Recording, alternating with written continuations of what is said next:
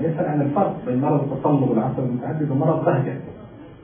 آه، دكتور محمد تحب تتكلم عن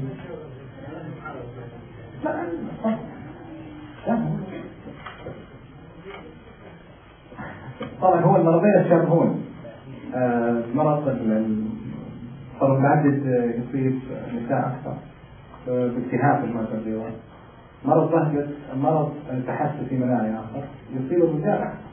شباب. أكثر يختلف تماما عن مرض التصلب المتعدد وله آه، بعض